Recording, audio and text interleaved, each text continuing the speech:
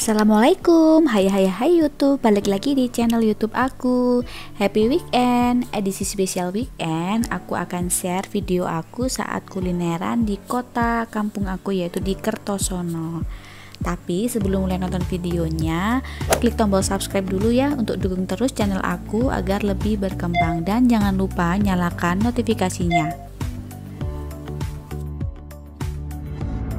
Jadi weekend ini aku sama suami memutuskan untuk pulang kampung yaitu di Kertosono, Kabupaten Nganjuk, Jawa Timur. Dari rumah aku saat ini perjalanan dari kota Mojokerto cukup satu jam aja atau bahkan kurang lah kalau lewat jalan tol. Pagi ini suasananya mendung banget dan gak kerasa sudah tiba aja di Kertosono. Nah, buat dari yang arah timur dari Surabaya, Mojokerto atau bahkan dari uh, arah Jogja atau Madiun, itu kalian bisa turun di exit tol Bandar Kedung Mulyo. Jadi sebenarnya aku udah sering banget bahkan uh, setiap pulang ke Kertosono pasti selalu sarapan atau makannya di pecel yang legend banget di kota Kertosono ini.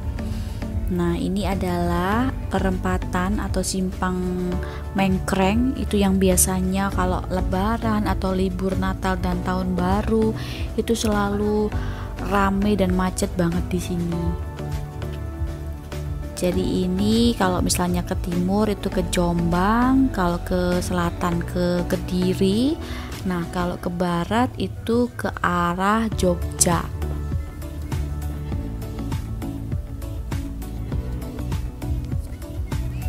Nanti tinggal ke barat sedikit. Setelah nanti ada jembatan kita sudah masuk ke area kecamatan Kertosono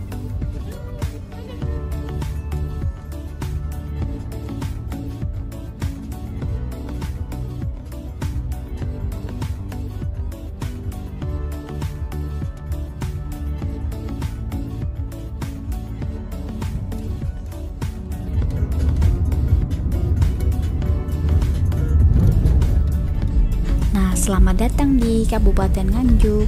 Jadi Kertosono ini adalah kecamatan yang paling timur dari Kabupaten Nganjuk. Buat kalian yang nggak sengaja atau memang pas main ke Kertosono, kalian wajib deh cobain uh, kulineran yang legend banget ini.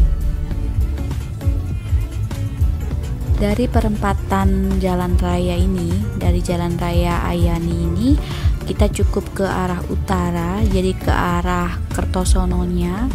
Ini ada tulisannya Kuto Kertosono. Kalau teman-teman ada yang bingung tinggal di search aja di Google Map itu sudah ada kok. E, namanya kalau nggak salah nasi pecel tumpang pincuk bahmi itu ada di Pandantoyo nama desanya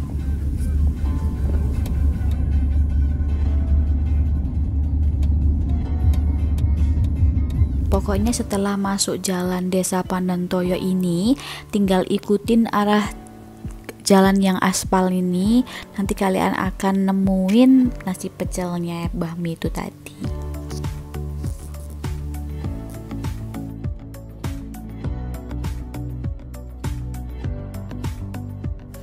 Nah, ini sudah ada tanda-tanda kalau nasi pecelnya buka karena banyak orang yang di situ. Tapi ini nggak terlihat banyak mobil-mobil yang parkir di sini. Nah, ini dia untuk nasi pecel Mbah Mi Pandantoyo Kertosono. Rumahnya tradisional, masih khas banget. Di sini tetap harus menerapkan protokol kesehatan ya. Nah, sebenarnya Mbah Mi itu adalah uh, yang penjualnya yang legend dulu. Dan Bahmi ini sudah meninggal jadi digantikan sama anak-anaknya. Jadi pecel ini bukanya pagi. Nanti biasanya sampai habis ya atau mungkin jam 10-11 udah tutup. Nanti sore buka lagi sekitar jam 5 sore buka sampai malam.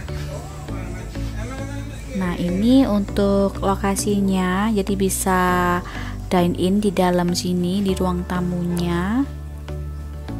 Ini tradisional banget. Ini masih belum seberapa rame ya biasanya lebih rame dari ini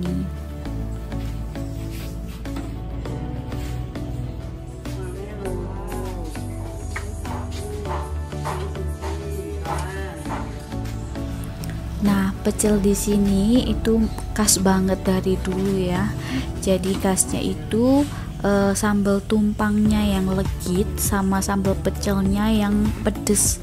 Tapi pedesnya masih wajar, gak terlalu ya.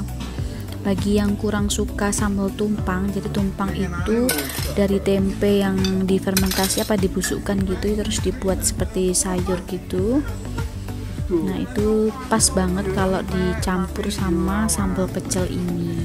Tapi biasanya yang kurang suka boleh pakai sambal pecel aja. Di sini tuh sayurannya beraneka ragam banget ya jadi e, banyak banget pokoknya pilihannya. Nah ini dia untuk nasi pecel tumpang yang aku pesen sama lauknya yaitu sate-satean seperti ini harganya bener-bener ekonomis banget di kantong. Nah seperti ini tampilannya. Ini aku request sayurnya agak banyak dan nasinya agak dikurangin. Jangan lupa dinikmatin pakai satenya. Ini aku pakai sate telur puyuh ini masih khas pakai pincuk ya bungkusnya. Bismillahirrahmanirrahim langsung kita makan.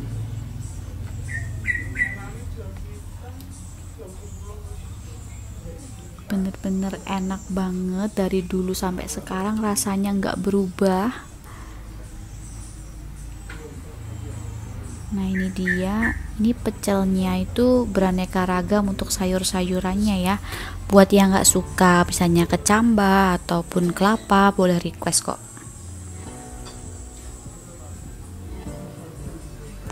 Oh iya ini aku hampir lupa. Aku seneng banget kalau nikmatin nasi pecel ini sama tahu goreng. Ini tahunya masih anget jadi keres banget rasanya Nah, kalau udah habis, jangan lupa sendoknya ditaruh di tempat yang udah disediakan dan pincuknya dibuang di tempat sampah yang udah disediakan. Sekian dulu video dari aku, semoga bermanfaat ya. Jangan lupa main-main ke sini kalau misalnya pas lewat Kertosono atau main ke Kertosono. Terima kasih sudah menonton videoku. Wassalamualaikum warahmatullahi wabarakatuh.